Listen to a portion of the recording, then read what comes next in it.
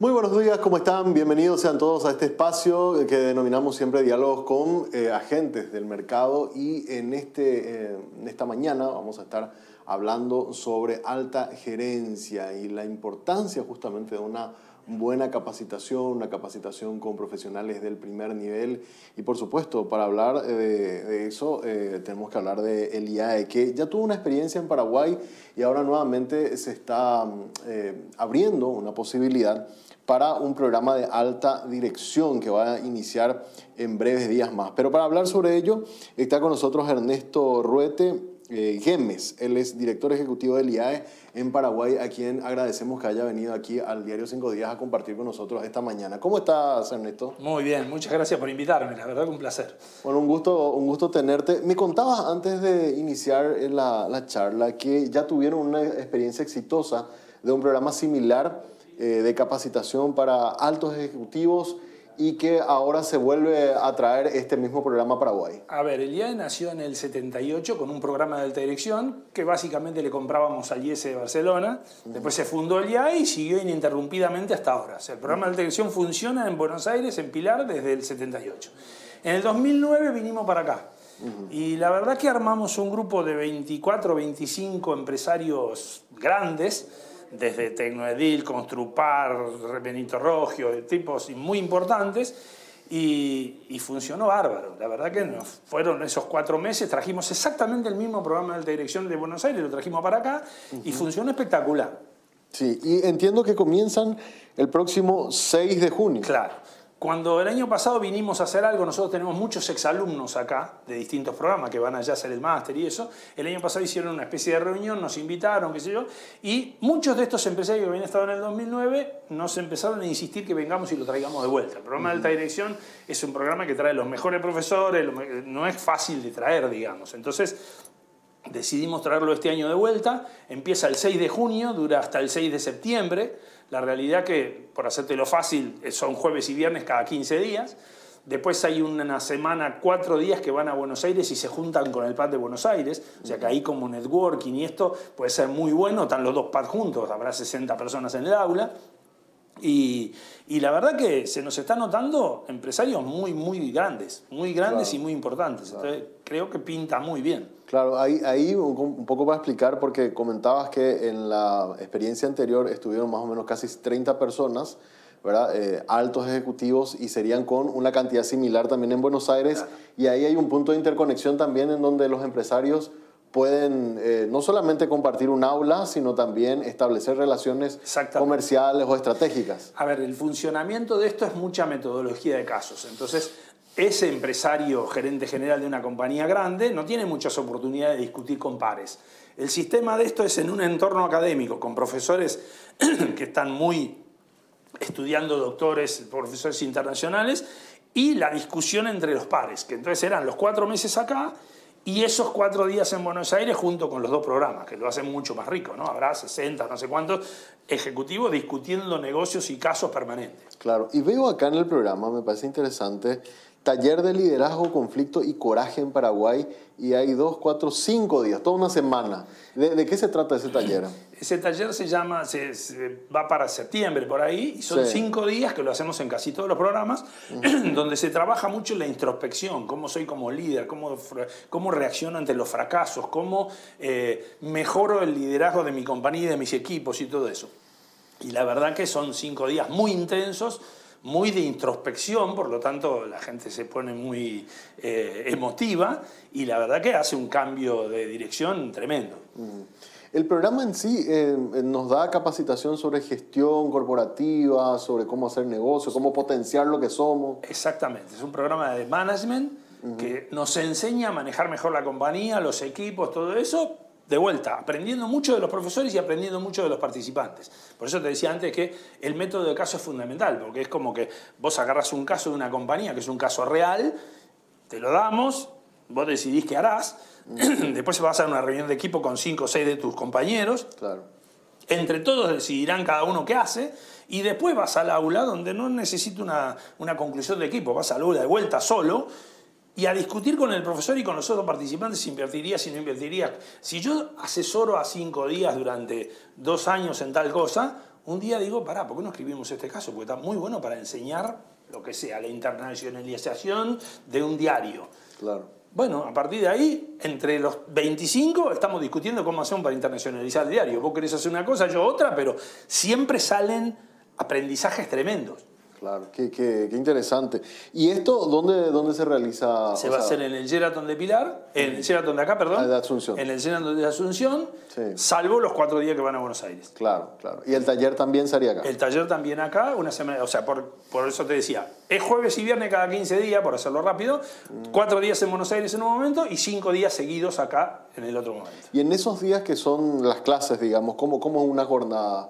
Para tener una idea de... ¿Y, y qué Vos cuando venís al programa te llevas un poco de material que es, volvamos al ejemplo de cinco días, que yo quiero internacionalizar un diario como cinco días. Entonces vos tenés que leerlo y decidir como si fueras el dueño de la compañía. Yo soy el protagonista de ese caso Claro. y yo qué tengo que hacer. Eso es lo que, el trabajo que haces en tu casa. Yo en cinco días me fijo qué haría, qué no haría, va, va, va.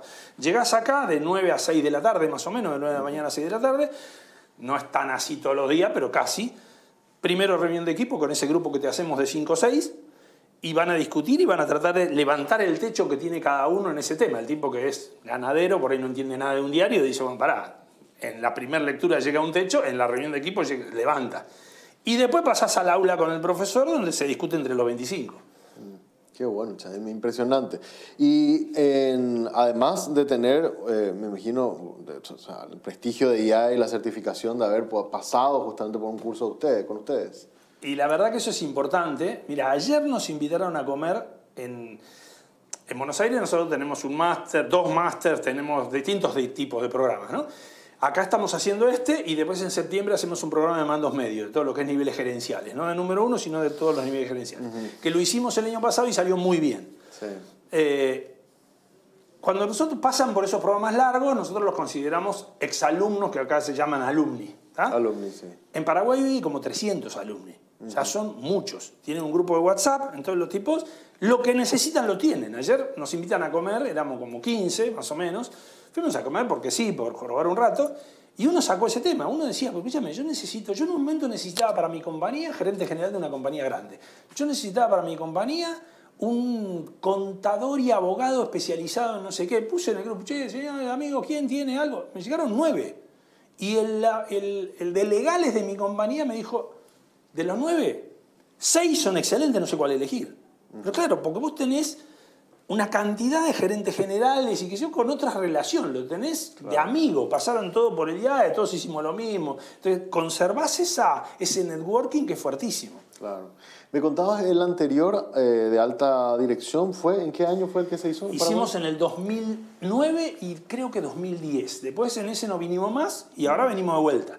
Yo lo que digo ahí que es una Claro, excelente oportunidad exacto. para hacerlo es que no sé si, no creo que volvamos hasta dentro de 5 o 6 años de vuelta con ese programa. Pues es un programa muy complicado de hacer.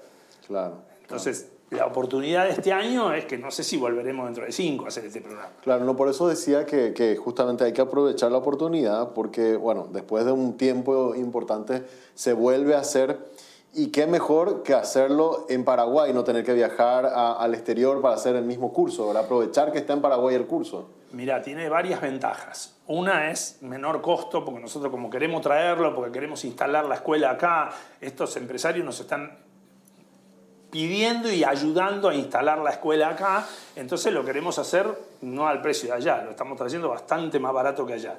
La segunda cosa es que encima allá tendrías que ir ocho o nueve veces, no me acuerdo cuántos son, de dos o tres días cada vez, hoteles, que yo, entonces te hace mucho más caro. Claro.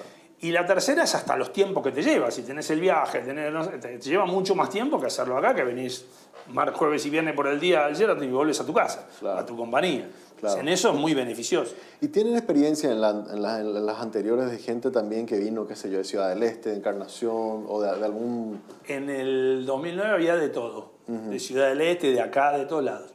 De esos 25 que te digo, había muchos. Claro, digo nomás porque también mucha gente del interior nos ve, eh, incluso altos ejecutivos de, de grandes empresas en Encarnación, en Ciudad del Este, en Oviedo, y esta es una oportunidad eh, de, de poder aprovecharla también, ¿verdad? No sé si, si acá se puede nombrar nombres, pero Sí. en 2009 estaba Johnny Hildebrand, estaba eh, Arnold Klassen, estaba Ferdinand Rempel, todas las colonias menonitas de por allá afuera, estaba José Ortiz de Ciudad del Este, por eso hay una, estaba Oscar Franco, estaba Roque Ardizone, estaba Guillermo Más, o sea, había un nivel de gente muy dispar que es lo que lo hace más rico todavía, claro. ¿no? Claro, ahí no cita a la gente del Chaco también, ¿verdad? Que, hay muchas grandes empresas también, ¿verdad? Bueno, por eso, cuanto más gente y más dispar metamos y más empresarios, siempre considerando empresarios grandes, ¿no? Cuanto más rico y más diverso sea el grupo, más se aprende.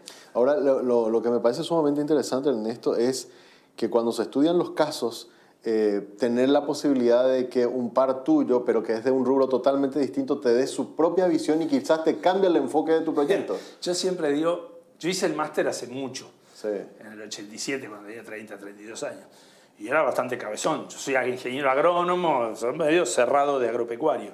Y yo siempre decía, yo agarraba un caso de algo que bien extremo, lejos de lo mío, no sé, contabilidad, y no entendía nada, y en mi primera etapa en mi casa tenía un techito ahí muy cerquita.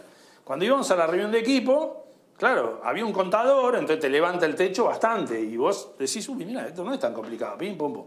Y te hace cambiar de opinión o no la decisión que ibas a tomar vas individualmente al aula de vuelta y la discusión entre 25, el profesor que ese caso lo dio 400 veces y que estudia eso y que investiga eso y hace su doctorado en eso, eh, para mí siempre pasan dos cosas. Una, el 30% de la clase cambia de opinión. Vos entraste a la clase diciendo yo con cinco días haría tal cosa y por algo que escuchaste en esa discusión cambiaste. Dijiste, para, para, en vez de ir para allá, vamos para allá.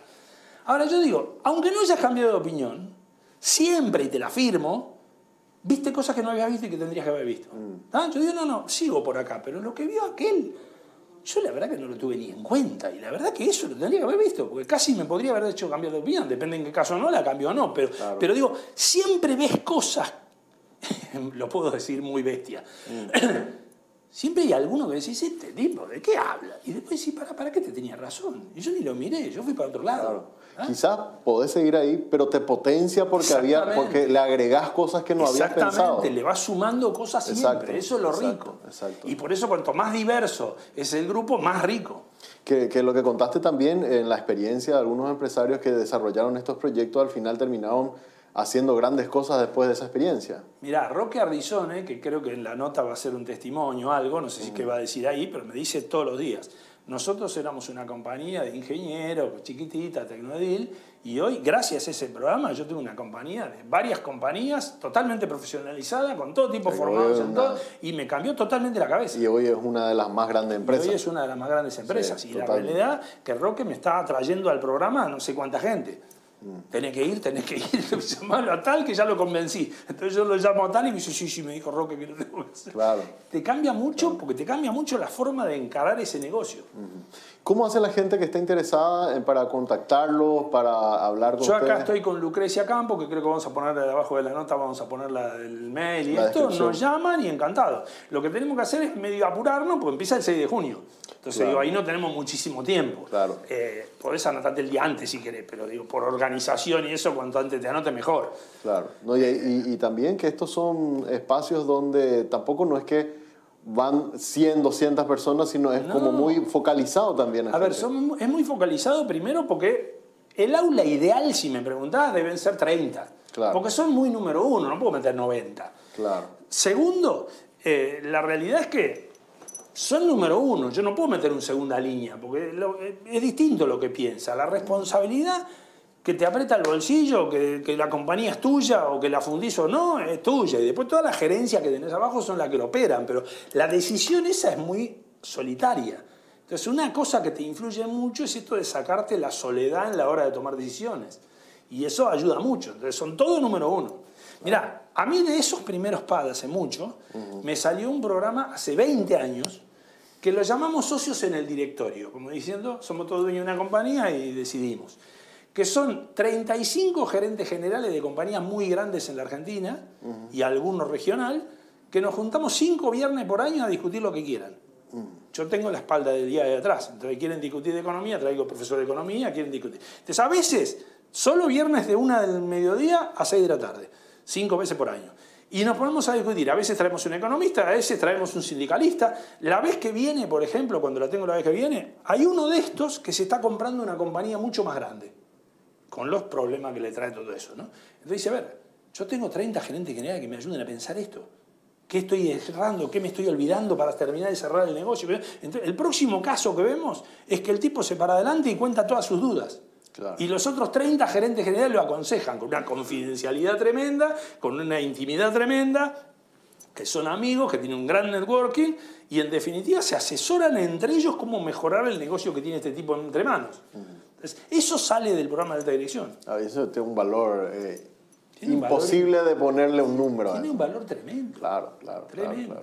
Bueno, reiteramos entonces, comienzan el 6 de, el 6 de junio. de junio, ahora, acá en el Geraton, para anotarse la llaman a Lucrecia, que va a estar los datos ahí, y bienvenidos. Bueno, Ernesto, un placer realmente tenerte, un gusto mucho éxito. Un placer, a mí me pone incómodo las notas, pero fue muy bueno, muy cómodo. Muchísimas gracias. Te agradezco. Bueno, así estuvimos entonces con Ernesto eh, Ruete Guemes, él es director ejecutivo de IAE en Paraguay. Este programa, les repito, programa de alta gerencia, arranca el próximo 6 de junio, eh, se va a realizar aquí en Asunción, pero también van a haber clases que se van a tomar en Buenos Aires y también hay una parte que a mí me parece sumamente interesante, que es la parte del taller, que hay que aprovecharlo. Así que no se pierdan de esto. Con esta nota cerramos entonces este bloque de eh, diálogo con agentes del mercado económico.